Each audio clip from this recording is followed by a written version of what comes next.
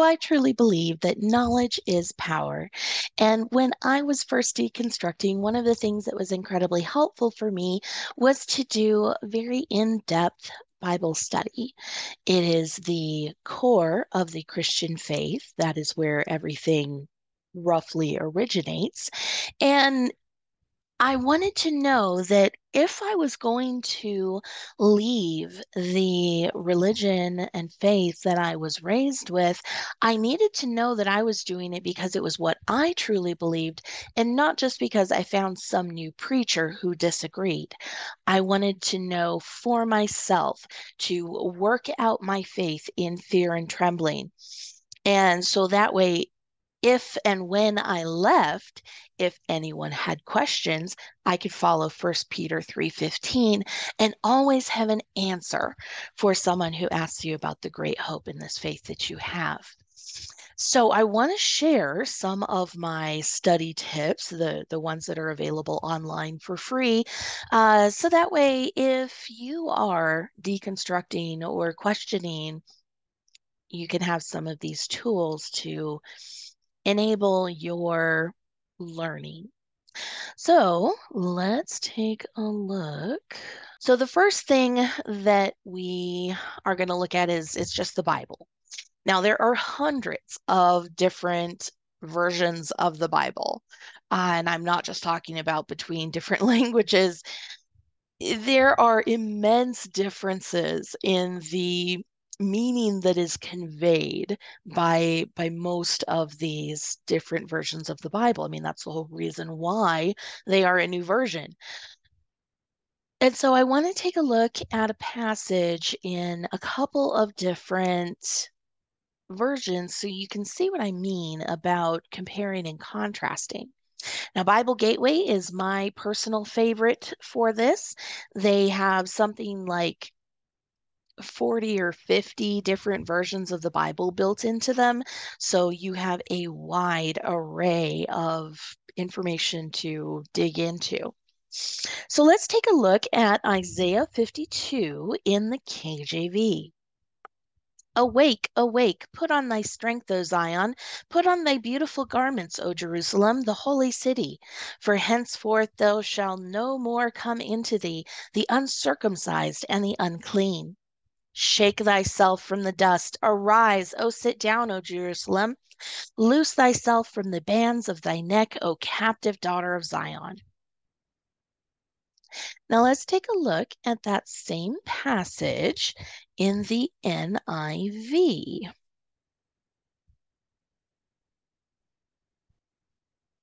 All right, and here it says, Awake, awake, Zion, clothe yourself with strength, put on your garments of splendor, Jerusalem, the holy city.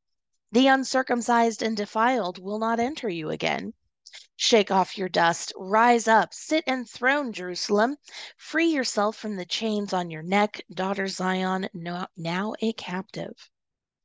So you can see how that's put in a little bit more like plain English versus Old English. And then let's look at an older version, it came before the KJV. There you are, the Wycliffe Bible. And this was, of course, written by John Wycliffe, one of the heretics burned at the stake by the Roman Catholic Church. So in his version, it says, Rise thou, Zion, rise thou, be thou clothed in thy strength, Jerusalem, the city of the Holy One. Be thou clothed in the clothes of thy glory, for a man uncircumcised and a man unclean shall no more lay to, that he pass by thee. For the uncircumcised and the unclean shall never again enter thy gates. Jerusalem, be thou shaken out of the dust.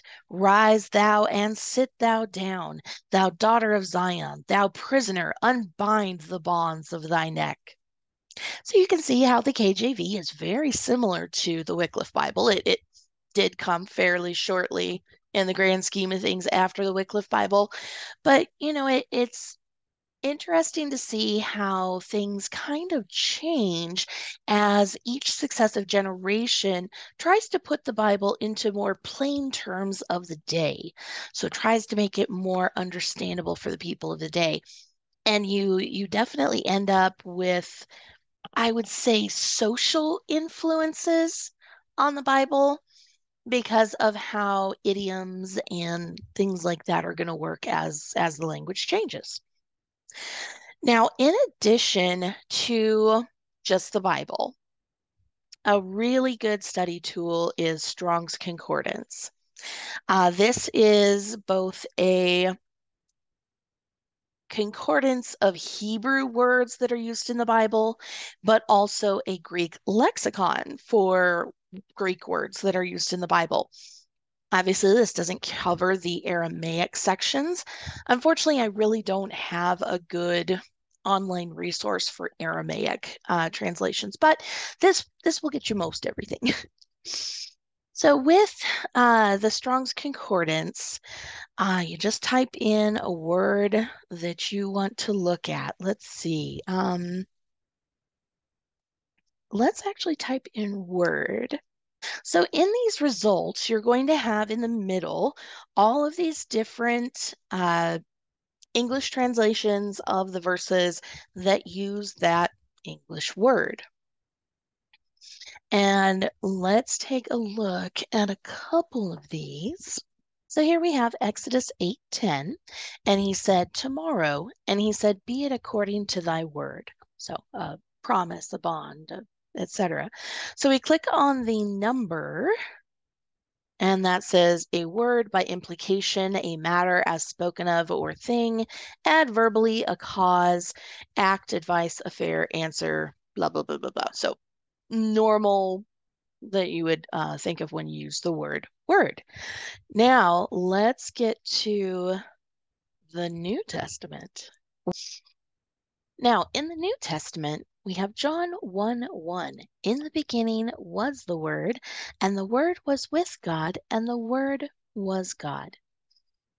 So let's look at the Strong's number for this one. This is Logos.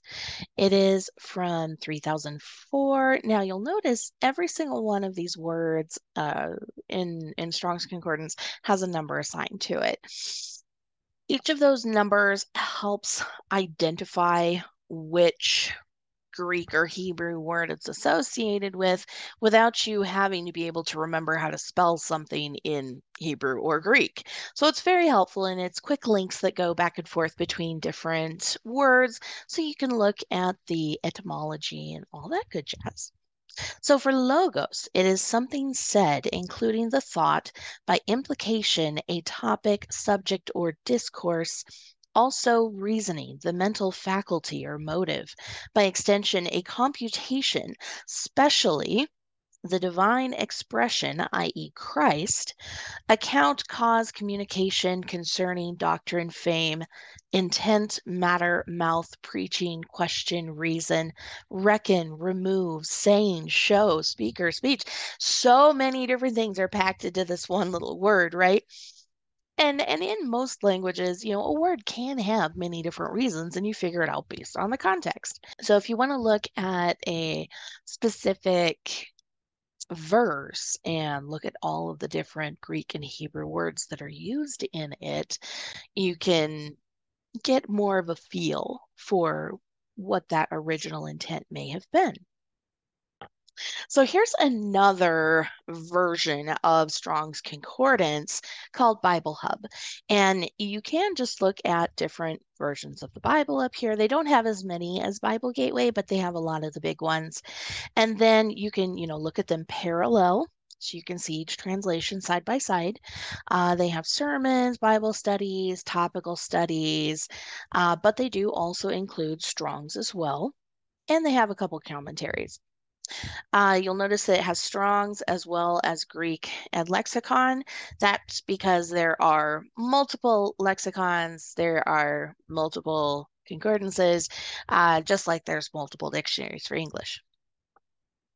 Now you can look at the Bible verse that that John 1 1, and you can see each word painstakingly broken down into the Greek so you can see each and every one right after the other. Now, these have a much more concise uh, definition that is listed, you'll notice for for logos it is it is much truncated from what we read on strongsconcordance.org. So, you know, there's there's pros and cons to the different. I, I feel like this one is a little more user friendly, whereas the Strongs is a little bit more detailed. So, anyways, aside from just studying the Bible, you can also take it back to older forms. Uh, if you have interests in Calvinism versus Arminianism, uh, the Wikipedia pages for things like the 39 articles, Luther's Reformation, etc. You can actually find some good articles in here. Now, Wikipedia, for all of its faults, does have some really good sections. Now, the way that you can tell a good article on Wikipedia from a bad article is in the sources. So you'll have your citations, which link to specific claims that are made inside the article. And if you come down here and there's like one particular book or one particular author that is referenced 50 times, uh, probably not a great article. However, you have something like this that have numerous articles from various points in time. So this is going to be a much more well-balanced and thorough article. You also have links to the sources down here, so different books that you can read. In most of these cases, the link will take you to Amazon or Google Books or something like that so you can purchase the book.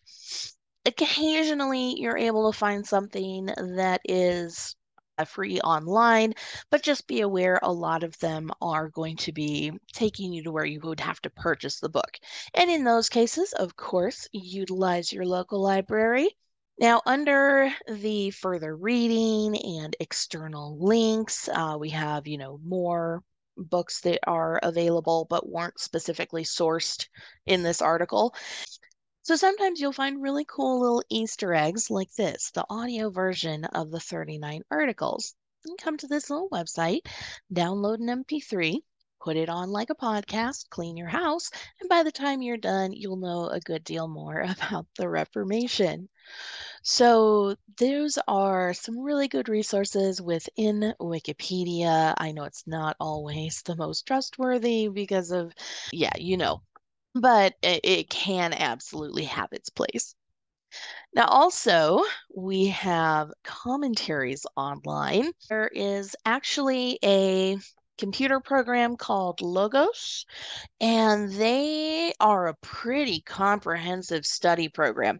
Obviously, there is a cost for the computer program, but if this is something that you're really going to be diving into for a while, it might be worth the investment for you. Uh, the Geneva Study Bible was written in 1560. And this one, I think, is important if you were raised in a Calvinistic uh, denomination, because this is very rooted in Calvin, Luther, Zwingli, etc. This is right after all of those Reformation confessions of faith were written, you know, the Gallic Confession, the Scott Confession, etc. So this is written right after those were done. So it is very fresh in all of that Calvinistic theology. So that can be really interesting to get not what the perspective is hundreds of years later after all these people died, but to to actually have a commentary that was released during their lifetimes. It's very nifty. Then we have John Darby's. I'm trying to remember the exact chronology here, but John Darby was a pretty pretty well respected for a decent amount of time uh, when it comes to commentaries and interpretation. Now you can also get into the specific confessions of faith, the creeds, and all of those because they they are available all online with all the videos that I've done about the creeds and confessions, everything has been readily available online for free because these are just public domain shared things by churches and nonprofits and schools and stuff. So thankfully, these are, are readily available and very helpful for understanding the roots of whichever denomination you came from, comparing and contrasting different streams within the faith, etc. If you want more information on the specific creeds and confessions that are used amongst various Protestant denominations, I do have a couple of other videos to watch on that, so I'm not going to get back into that here. And I just want to again encourage you that if you are questioning, if you are deconstructing, even if you deconstructed a while ago and you just want to refresher, I guess. Study tools are incredibly helpful. Uh, knowledge is power. Knowledge is power. Knowledge is power, baby.